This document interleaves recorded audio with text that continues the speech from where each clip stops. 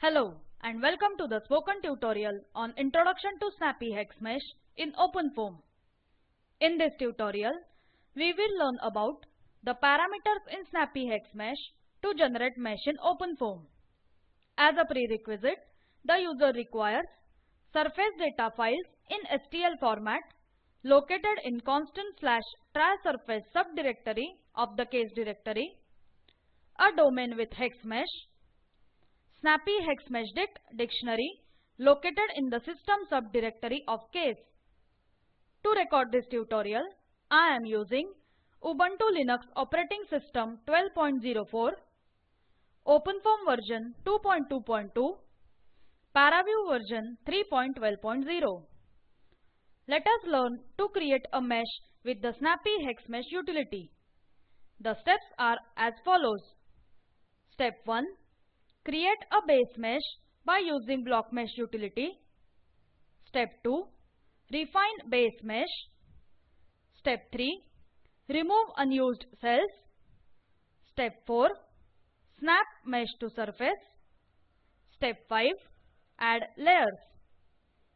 We will open the terminal and enter the path for flange as shown. Type cd space openfoam hyphen 2.2.2 slash tutorials slash mesh slash snappy hex mesh slash flange and press enter. Now type ls and press enter. There are two folders constant and system. Type cd space system and press enter. Now type ls and press enter. You can see snappy hex mesh dict file. To view the content of the file, type gedit space snappy hex mesh dict and press enter. Note that H, M and D here are in capital letters. This will open up the snappy hex mesh dict file. Snappy hex mesh dict file contains all the instructions and the entire process revolves around this file. With the first rows of snappy hex mesh dict, you can activate or skip sections of the process. In the geometry section, all active regions that take part in snappy process can be defined. The parameters that govern the process of cell splitting are described in castellated mesh control section. The parameters that are listed below are well explained in snappy hex mesh dict file. N cells between levels defines number of cells for each refinement level. The higher it is, the more gradual the mesh will be. In the explicit feature edge refinement section, you can set specific refinement level for geometry's feature edges. The .emesh file can be obtained with the surface feature extract utility. In the surface based refinement section, you can set the refinement levels of all surfaces defined in geometry file. Mesh selection is a very important parameter.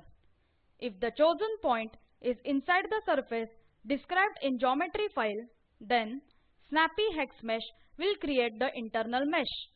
Otherwise, the external part that is inside the block mesh is meshed. The next step involves moving cell vertex points onto the surface geometry. The snapping process is carried out by four parameters.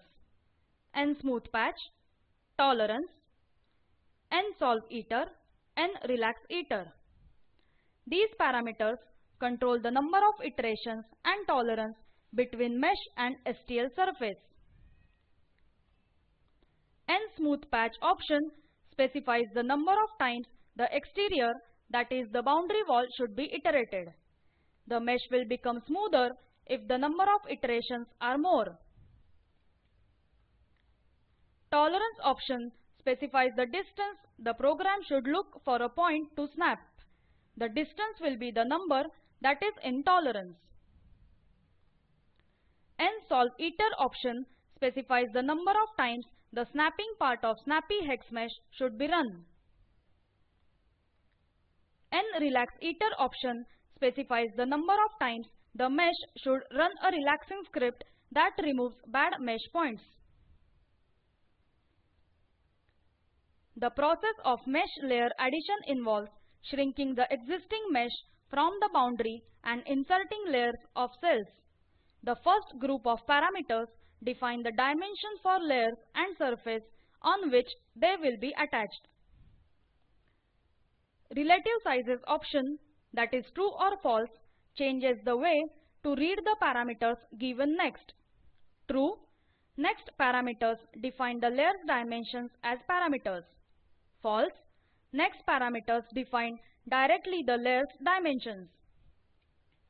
In layers option, you can define the number of layers and the patch on which to attach the layers. It must be an STL patch in geometry submenu and not a user-defined region. Expansion ratio parameters sets the growth factor of the layers that is ratio between two subsequent layers. Final layer thickness parameter sets the thickness of the last layer. Min thickness parameter sets the minimum allowable thickness of layer. Advanced settings is the second group of parameters. It contains more specific controls that can help in layer creation. Feature angle is the angle above which the surface will not be extruded. N relax iter option specifies the number of times the mesh will run a relaxing script. Max face thickness ratio option specifies the maximum allowable value of aspect ratio. Mesh quality controls parameter sets the minimum thresholds to generate mesh in snap and add layers part. In 99% of the cases, it is better to leave the default values. But sometimes, you can deactivate one or more controls to force mesh generation. These are the different parameters in Snappy Hex Mesh Dict. These parameters are important to generate mesh using Snappy Hex Mesh utility. Let us summarize. In this tutorial, we learned different parameters in Snappy Hex Mesh to generate mesh in OpenFOAM. Watch the video available at this URL.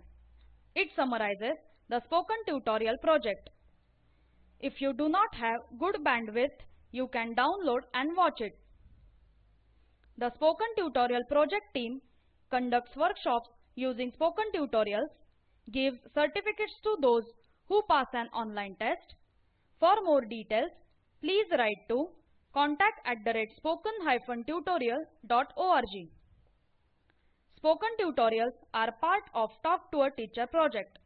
It is supported by the National Mission on Education through ICT MHRD, Government of India. More information on the same is available at following URL. This is Chaitrali Godke from IIT Bombay signing off. Thanks for joining.